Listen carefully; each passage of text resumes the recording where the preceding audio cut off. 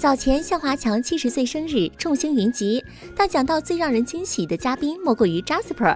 他穿上小西装，跟着爸妈走红地毯，还表演了一段舞蹈。虽然毫无节奏感，喜感十足，但依然萌翻众人。相比于跳舞，Jasper 似乎更有表演天赋。